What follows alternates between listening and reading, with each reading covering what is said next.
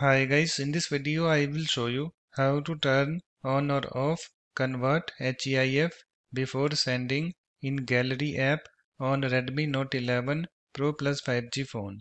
So this is my Redmi Note 11 Pro Plus 5G phone. So let us start. So first of all you have to open your gallery app. So here is my gallery app. Let me tap on it to open it. It's now opened and after that just tap on this three vertical dots at the top right. And then tap on settings. And then scroll down to send this section. And in this section you can see here we have this uh, convert HEIF before sending this option.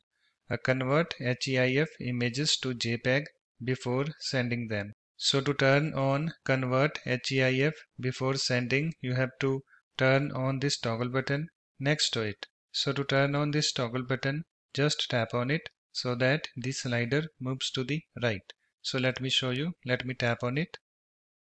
And you can see guys it's now turned on and whenever you want to turn off convert HEIF before sending then you have to turn off this toggle button next to it. So to turn off this toggle button just tap on it so that the slider moves to the left. So let me show you. Let me tap on it.